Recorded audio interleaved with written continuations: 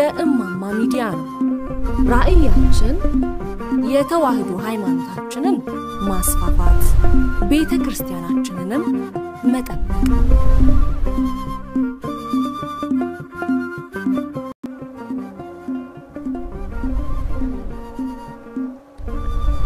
ውድ ተመልካቾቻችን እንደምን አላችሁ? እግዚአብሔር አምላካችን ጉባኤያችንን ይባርክልን፣ ማህበራችንን ያስፋልን፣ ሰምተን ለመዳን ጸለየን ለመሰማት እንዲያበቃን የአምላካችን ቅዱስ ፈቃዱ ይሁን። ውድ ተመልካቾቻችን በእማማ ሚዲያ በእማማ ፌክስቡክ ገብተናል። ቀጥታ ስርጭታችን ከዛሬ ጀምሮ የተስተካከለ ሆኗል። እንግዲህ አርማዎች፣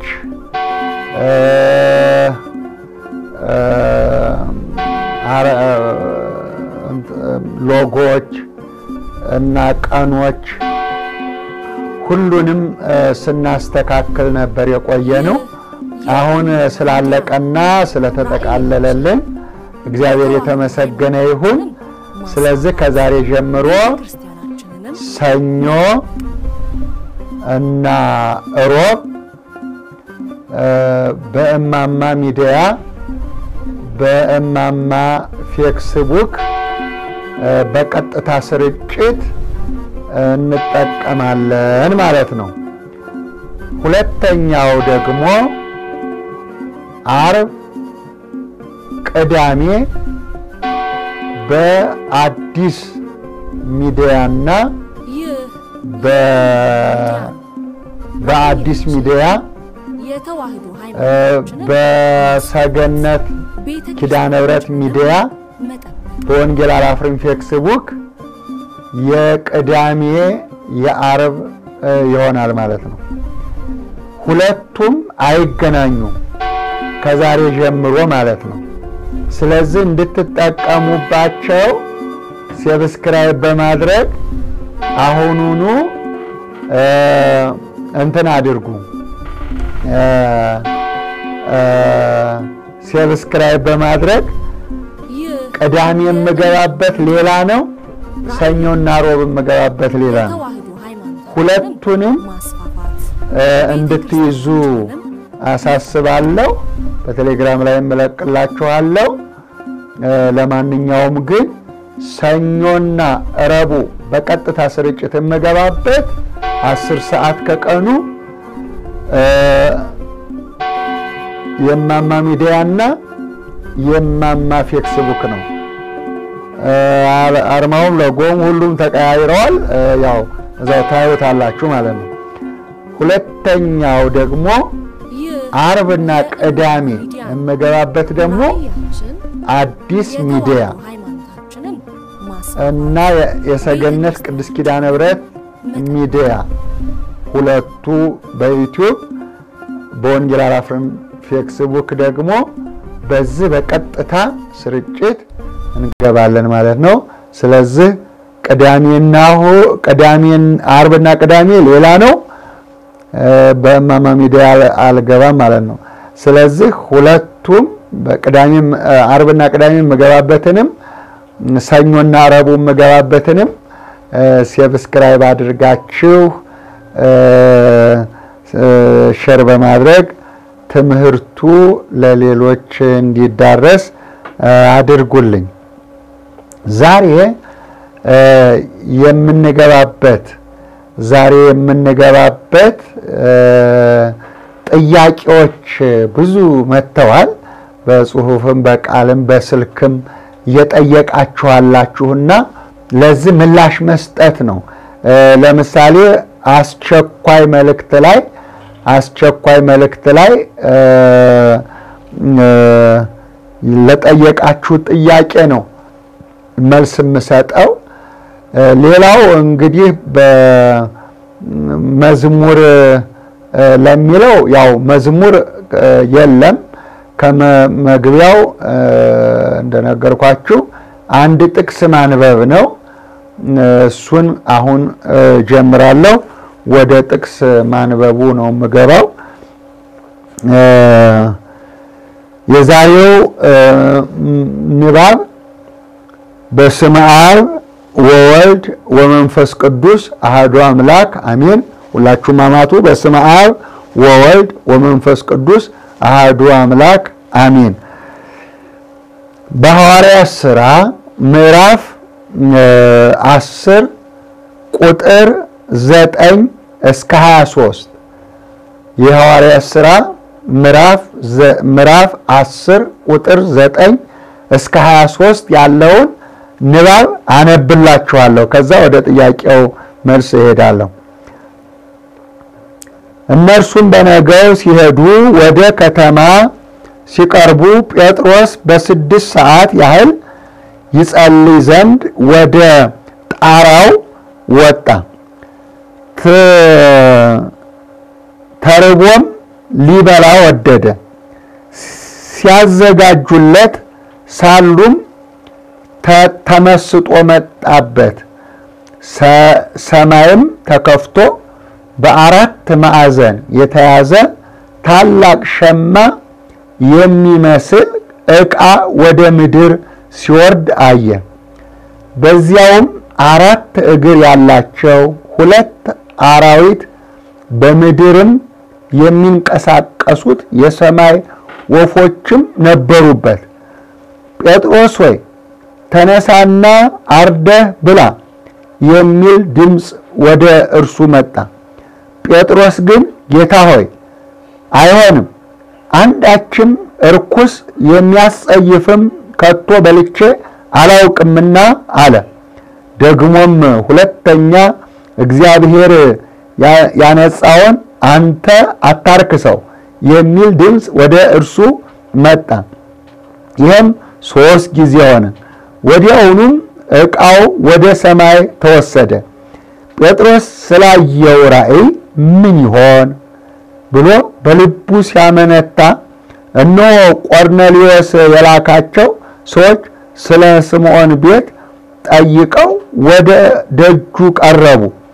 ድምፃቸውንም ከፍ አድርገው ጴጥሮስ የተባለ ስምዖን በዚህ እንግድነት ተቀምጧልን ብለው ይጠይቁ ነበር።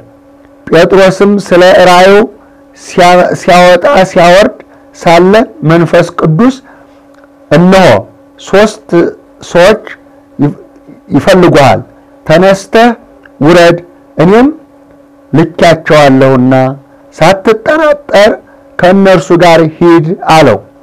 ጴጥሮስም ወደ ሰዎቹ ወርዶ እነሆ የምትፈልጉኝ እኔ ነኝ፣ የመጣችሁበትስ ምክንያት ምንድን ነው አላቸው።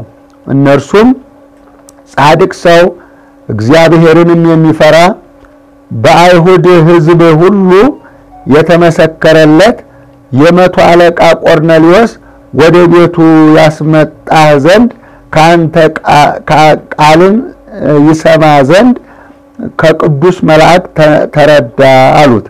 እርሱም ወደ ውስጥ ገብቶ እንግድነት ተቀበላቸው። በነገውም ተነስቶ ከእነርሱ ጋር መጣ ይለናል።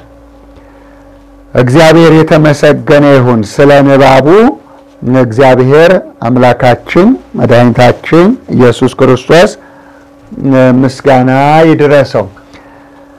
እንግዲህ እናቶቼ፣ አባቶቼ፣ እህቶቼና ወንድሞቼ እንደ እግዚአብሔር ፈቃድና እንደ እግዚአብሔር ቸርነት ይህንን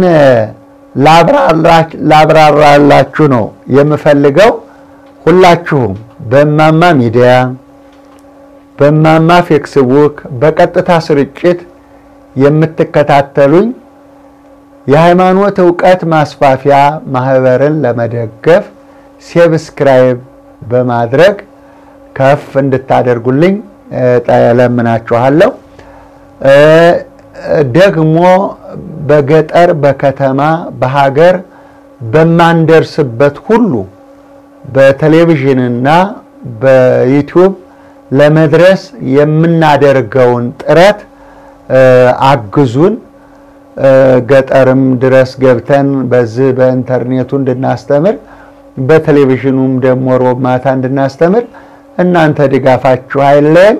ስለዚህ share እና like በማድረግ subscribe በማድረግ ሰዎች ይህንን ድምፅ እንዲሰሙ እንዲደርሳቸው አድርጉልኝ። እናንተም ሐዋርያ ሁኑ። በተረፈ አምላካችን መድኃኒታችን ኢየሱስ ክርስቶስ ሰምተን ለመዳን ጸልየን ለመሰማት እንዲያበቃን የመንግሥተ ሰማያት መውረሻ የኃጢአት መደምሰሻ እንዲያደርግልን ሰው የምንሆንበትን መንገዱን እሱ እግዚአብሔር በቸርነቱ ይምራን። አሁን ያነበብኩላችሁን በሐዋርያት ሥራ ምዕራፍ ዘጠኝ በሐዋርያት ሥራ ምዕራፍ ዘጠኝ ቁጥር በሐዋርያት ሥራ ምዕራፍ 10 ቁጥር ዘጠኝ ላይ የተጻፈውን ምሳሌ ነው የምነግራችሁ። እንግዲህ ትንቢት ወይም መልእክት ትንቢት ወይም መልእክት የሚተረጉመው ሁለት ነገር ነው። ሁለት ነገር ነው። አንደኛው ጊዜና ወቅት ነው የሚተረጉመው። አሁን ጥያቄያችሁ የሚሉትን ቢተረጉሙልን ተርጉመው ቢነግሩን ምንድን ነው ትርጉሙ የሚል ነው ጥያቄያችሁ ያለው። ነገር ግን አንደኛው ተርጓሚ ጊዜና ወቅት ነው፣ እኔ አይደለሁም የምተረጉመው። ሁለተኛው ደግሞ መንፈስ ቅዱስ ይተረጉማል፣ መንፈሳውያን ይተረጉማሉ። ተርጓሚዎቹ ሌሎች ናቸው፣ ተናጋሪዎቹ ሌሎች ናቸው። እንደዚህ ነው የሆነው። በነቢያትም ተናጋሪዎቹ ሌሎች ናቸው፣ ተርጓሚዎቹ ደግሞ ሐዋርያት ናቸው እና ትንቢት ወይም ምሳሌ ምሳሌ አለ፣ ትንቢት አለ። ምሳሌውን በምሳሌ የሚፈቱ ትርጉሙን በትርጉም የሚፈቱ ሌሎች አሉ። ከዚህ በላይ ደግሞ መንፈስ ቅዱስ ይፈታል ማለት ነው። አሁን ላሳያችሁ የፈለግኩት በዚህ በሐዋርያት ሥራ ላይ ቅዱስ ጴጥሮስ ሁለት ነገር በአንድ ጊዜ መጥቶበታል። ሁለት ጊዜ በአንድ ጊዜ ሁለት ነገር መጥቶበታል። አንደኛው መጀመሪያ ራበው ራበው መብላት ፈለገ። ኧረ ርቦኛል የምበላው ስጡኝ አለ። እስኪያዘጋጁለት ደግሞ ተደግሞ እንቅልፍ መጣበት። ደግሞ ሁለት ነገር አንድ በአንድ ጊዜ እንቅልፍም ራብም። አይ ቆይ እንግዲህ እስኪያቀርቡልኝ እስኪያዘጋጁልኝ ድረስ አለና ወጥቶ በደርብ ሲተኛ ከሰማይ በአራት ማዕዘን የተያዘ ታላቅ ሸማ ይለዋል። ሸማ በአራት ማዕዘን የተያዘ ትልቅ ሸማ ማለት እንደ መጋረጃ ማለት እንደ መጋረጃ ያለ ሸማ መጣ። ከዛ ላይ አራዊት ተስለውበታል፣ አዕዋፋት ተስለውበታል። ልብ በሉ እንግዲህ ትንቢት ምሳሌ አያችሁ። አሁን ይሄ ምሳሌ ይባላል፣ ምሳሌ ይባላል እና አራዊት የተሳሉበት አዕዋፋት የተሳሉበት እና ጴጥሮስ ርቦ ስለነበረ የተኛው ጴጥሮስ ተነስተህ ይህንን አርደህ ብላ አለው። ሲያየው አራዊትና አዕዋፍ የማይበሉ ነገሮች ናቸው የተሳሉበት። እንዴት ያድርግ? ጌታዬ ሆይ እኔ እርኩስ ነገር በልቼ አላውቅም፣ አላደርገው አለ።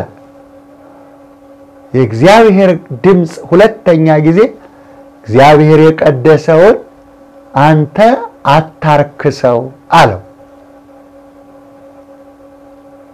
ከዛ ነቃ። ሲነቃ ምንድን ያየሁት? ምን ማለት ነው? አሁን ልክ እንደናንተ እንደምጠይቁት ማለት ነው። አሁን ይህን ማን ይፈተዋል? እሺ ጴጥሮስ እነኝህን አራዊት አዋፍ አርደህ ብላ ነው የተባለው። ርቦሃል አርደህ ብላ ነው የተባለው። አራዊትና የረከሰ ነገር ደግሞ በልቼ አላውቅም ያለው ጴጥሮስ ነው። አሁን ለእናንተ ይገባችኋል? ይህን ልትፈቱት ትችላላችሁ? ይህ ምን አይነት ምሳሌ ነው? ምንድን ያየሁት እያለ ተጨነቀ ይላል። ምንድን ያየሁት? ምንድን የነገረኝ ነገር እያለ ሲል ጊዜው መጣ። ጊዜው የሚፈታበት ጊዜው መጣ። ከዛ ሶስት ወታደሮች ከደጅ ሆነው ጴጥሮስ የሚባል በዚህ ቤት በእንግድነት የተቀመጠ አለ አሉና ጮሁ። ጆሮው ገባ፣ ወደ ታች ወረደ። ከመኝታ ወረደና እንዳይጠራጠር ሊያስሩኝ ነው ብሎ እንዳይፈራ እንዳይጠራጠር መንፈስ ቅዱስ አብረህ ሂድ፣ እኔ አዝዣቸው ነው የመጡት አለው። መንፈስ ቅዱስ መንፈስ ቅዱስ ሲፈታው እንዴ ነው ሲተረጉመው እንዲህ ነው። ከዛ በኋላ እሺ አለ። ተከትሎ ሄደ ማለት እነሱን ተከትሎ ሄደ። አሁን ሊፈታለት ነው። በዙ ቀጥሉና አንቡት። እዛ ሲደርስ ያስጠራው ቆርኔሌዎስ የሚባል ባለስልጣን ነው። ለምንድን ነው ያስጠራሃኝ? ነገርስ ምንድን ነው ብሎ ጠየቀው ይላል። ምንድን ነው ብሎ ጠየቀው ይላል። ሲጠይቀው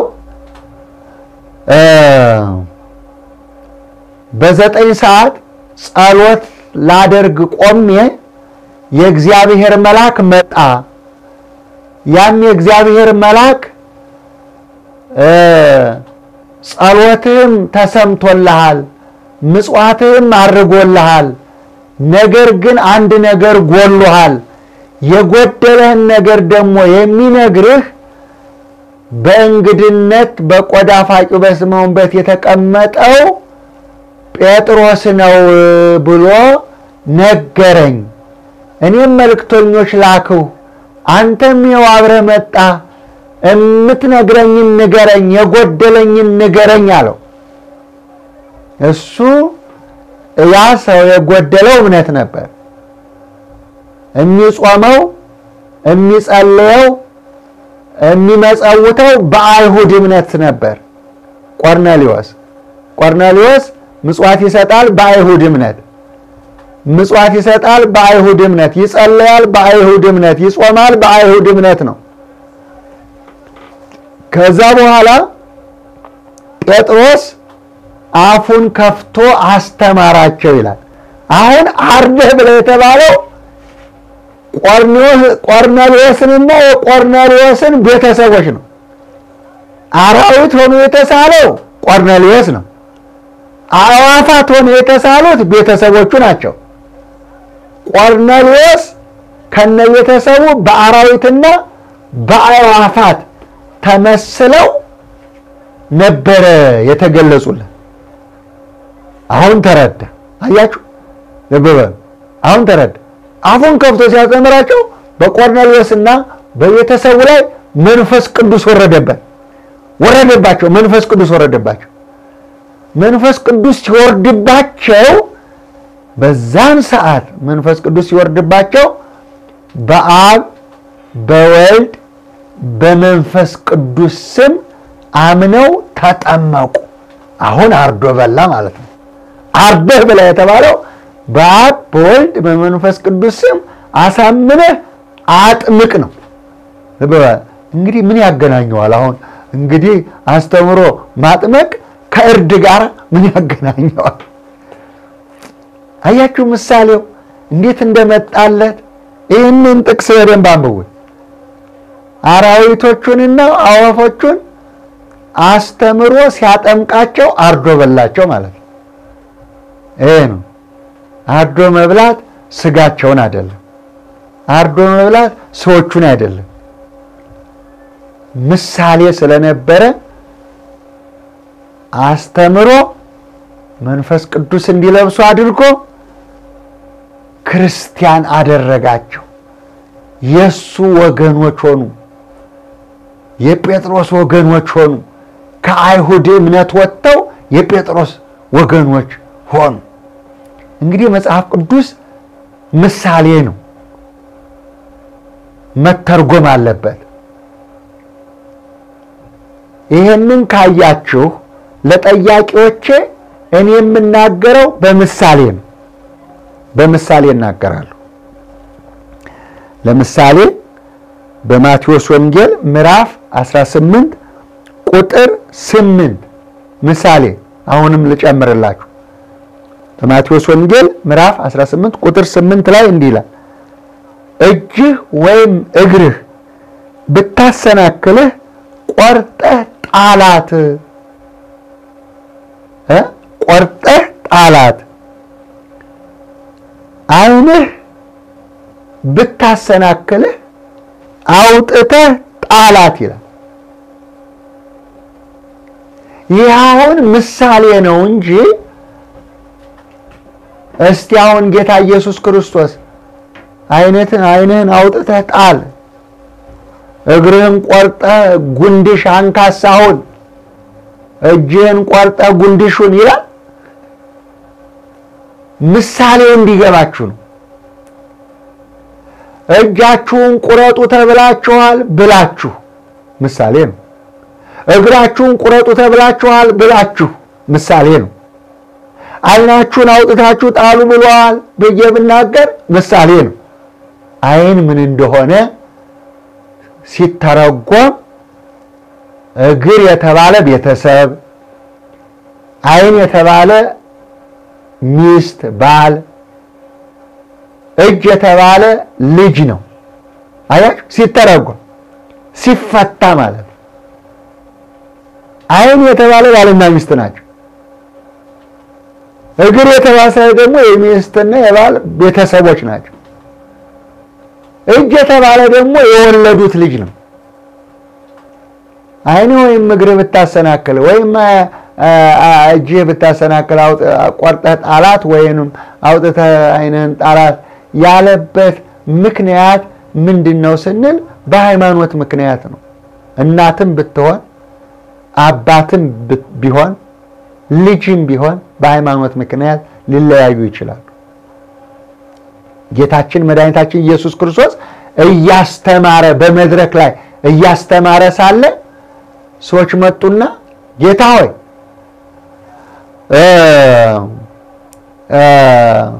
እናትህና ወንድሞችህ ሊያነጋግሩ ወደው በውጭ ይፈልጉሃል አሉ። እናቴስ ማን ናት? ወንድሞቼስ እነማን ናቸው? እዛ ጋ ቁጭ ብለው ወደሚማሩት አየና እዚህ ጋ ቁጭ ብለው ቃሉን የሚሰሙ የእግዚአብሔርን ቃል የሚሰሙ እናቴም ወንድሜም እህቶቼም እዚህ አሉ ከእግዚአብሔር ቃል የበለጠ ስለሌለ ማለት ነው። ከሃይማኖት የበለጠ ስለሌለ ማለት ነው። ቃለ እግዚአብሔርን አስቀድሞ ከፍ አድርጎ እነዚህ ናቸው አለ። ከአባትም ከእናትም ከወንድምም ከእህትም ከቤተሰብ ሃይማኖት ይበልጣል ተለይ ሲል ነው። ምሳሌ ነው ለማለት ፈልጌ ነው። ምሳሌውን በደንብ ማወቅ ነው። እንግዲህ አንዳንድ ጊዜ ደግሞ ቅኔ አለ። በቅኔ ይነገራል፣ በምሳሌ ይነገራል። ትንቢት ማለት ነው። ትንቢት በምሳሌ ይነገራል። ትንቢት በቅኔ ይነገራል። ስለዚህ እንደ እግዚአብሔር ፈቃድ እንደ እግዚአብሔር ቸርነት ይሄንን መሰረት ካደረጋቸው እነዚህ ሁለት ጥቅሶች ፍችም ያስፈልጋቸው ትርጉምም ያስፈልጋቸው በደንብ ታያችሁ፣ ከተረዳችሁ፣ ካወቃችሁ ይሄንን በደንብ ካወቃችሁ እናቶቼ፣ አባቶቼ፣ እህቶቼ፣ ወንድሞቼ እኔ የምነግራችሁ ነገር ምሳሌ ነው ማለት ነው። ለምሳሌ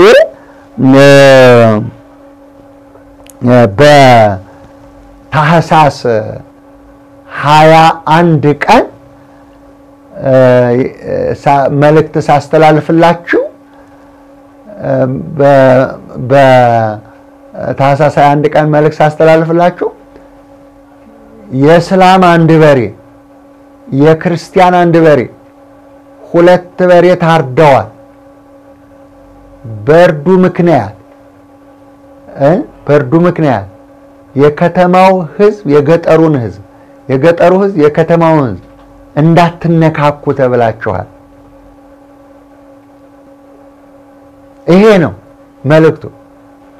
በማግስቱ ግን የሆነው ነገር ምሳሌው ተፈጸመ ማለት ነው።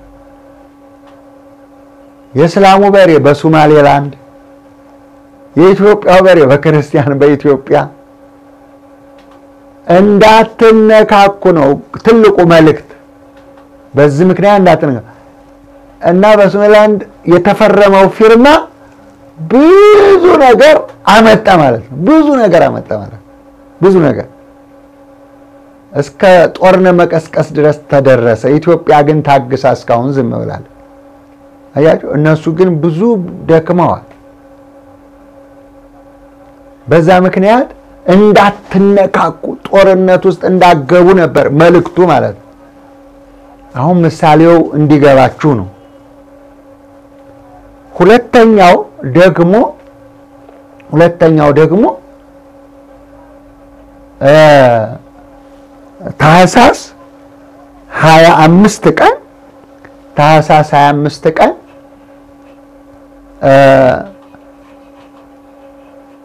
ትልቁ ዘንዶ ከትልቁ ተራራ ላይ ወርዶ ወደ ምዕራብ ኢትዮጵያ ሄደ ብያችሁ ነበር። በተለይም በዚህ ነው ጥያቄው ብዙ ነገር ስጠይቁኝ ነበር። ከታላቁ ተራራ ወርዶ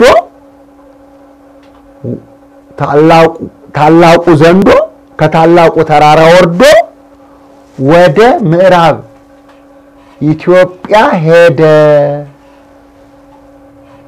ስለዚህ መልካም የሆነ እንጨት አጠና አምጡ፣ የጭቃውን ቤት አፍርሼ አድሼ ልሰራው ነው ነበር መልእክቱ። መልከ መልክ ያለውን ጥሩውን እንጨት መርጣችሁ ጥሩውን እንጨት መርጣችሁ አጠናውን አምጡ፣ የጭቃውን ቤት አፍርሼ ላድሰው ነው ነበረ። አሁን እሱ ተፈጽሟል። ስለተተረጎመ ነግራችኋል። የተረጎሙት የሃይማኖት ተቋም ነው። እኔ አይደለሁም የምተረጉም። የሃይማኖት ተቋም መግለጫ አውጥቷል። ለኢትዮጵያ መግለጫ አውጥቷል። ለኢትዮጵያ መንግስትም ለሁሉም አውጥቷል። ምን ማለት ነው ያላችሁ እንደሆነ ይኸውላችሁ። እነሱ መግለጫ ያወጡት አሁን ያ ዘንዶ ወደ ምዕራብ ኢትዮጵያ ሄዶ ለሀያ ዓመት ተፈራረሙ። ምን ብሎ? ወንድ ለወንድ ሴት ለሴት የሚጋባው ግብረ ሰዶማውያን። የዛ ባል ያልሆነ ይላል ራዕየ ዮሐንስ 13 የዛ ባል ያልሆነ አይሸጥም አይለውጥም ይላል። አሁን ሄደው ሲፈራረሙ በንግድ ነው የተፈረሙ። ለሀያ ዓመት በንግድ ነው የተፈረሙ። እንግዲህ ዝርዝሩን በሃይማኖት ተቋም ከናንቀጹ ከነገጹ ምናምን ስለጠቀሱ እሱን ተከታተሉ፣ እዩት። በአሜሪካ ሀገር ትምህርት ቤት ሳይቀር ሕፃናት ሳይቀሩ ግብረ ሰዶም እንዲሆኑ እየተማሩ ነው ያሉት። አሁን እነዚያ የምዕራብ ሀገሮች ወደ ምዕራብ ኢትዮጵያ ሄዶ ተፈራረመ ለ20 ዓመት የኢትዮጵያ መንግስት ማለት ነው። እዛ ውስጥ በመርዝ የተለወሰ በመርዝ የተለወሰ ማር አለ ክፉ ልጆቻችን ግብረ ሰዶማውያን ወንድ ለወንድ የሚጋቡበት ሴት ለሴት የሚጋቡበት ግብረ ሰዶም የሚመጽበት ጾታ የሚቀይሩበት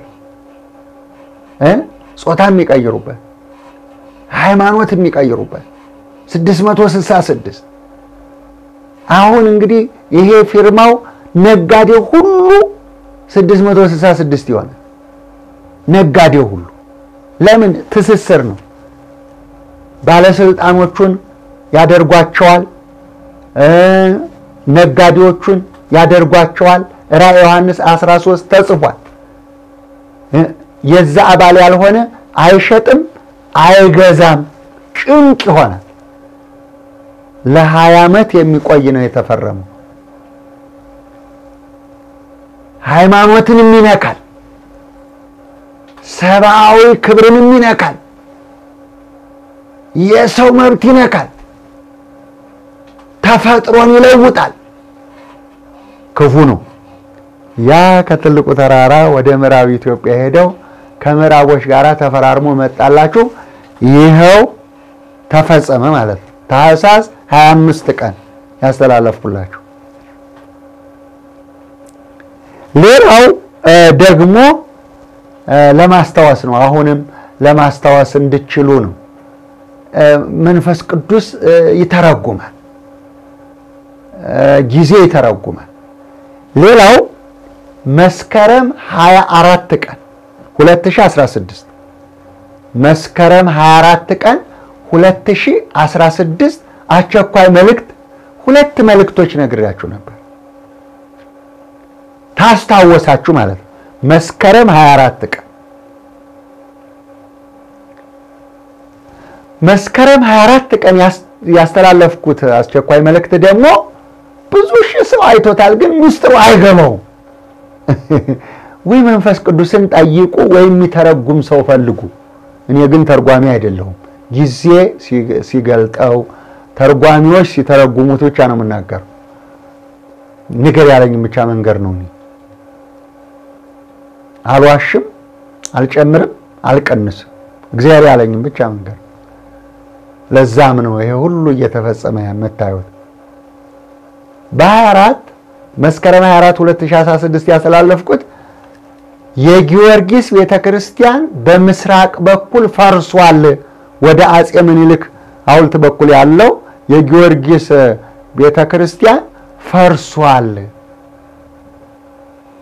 በአጼ ምኒልክ አደባባይ በአጼ ምኒልክ አደባባይ የተፈጨ አሸዋና የተፈጨ ጠጠር ይሄ ለልስን የሚሆነው ማለት ነው እና የተፈጨ ጠጠር የተፈጨ አሸዋ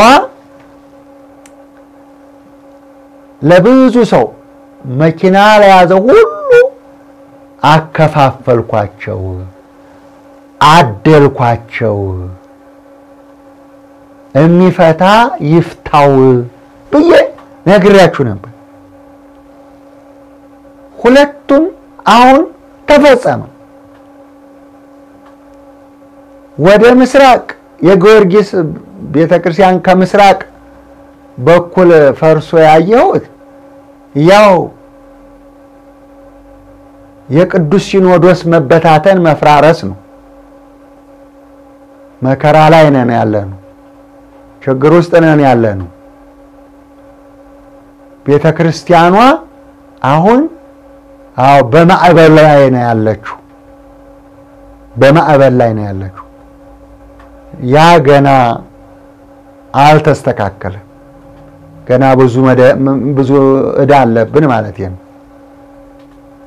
ሁለተኛው በአጼ ምኒልክ አደባባይ አሸዋና ጠጠር የተፈጨ አደልኩ ያልኳችሁ ትላንትና